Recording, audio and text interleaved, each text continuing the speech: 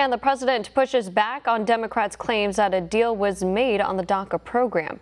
In a series of tweets this morning, the president said there was no deal made during a White House dinner night Wednesday with Democrat leaders.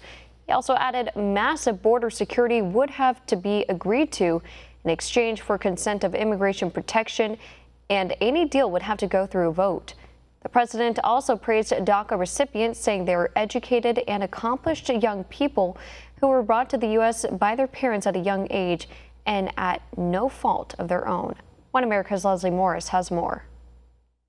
It seems as though the White House and Democrat leaders remain at odds over the solution to the recently rescinded Deferred Action for Childhood Arrivals program, known as DACA. Following a bipartisan dinner hosted by President Trump Wednesday, House and Senate minority leaders Nancy Pelosi and Chuck Schumer say the president agreed not to tie border wall funding to potential DACA legislation.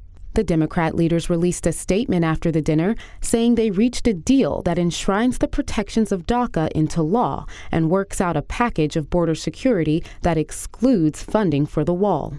However, White House Press Secretary Sarah Sanders rebuffed those claims, posting on Twitter that excluding the wall was certainly not agreed to. While the fate of the much needed border wall remains unclear, the White House described the meeting as a positive step towards the president's strong commitment to bipartisan solutions. Leslie Morris, One America News.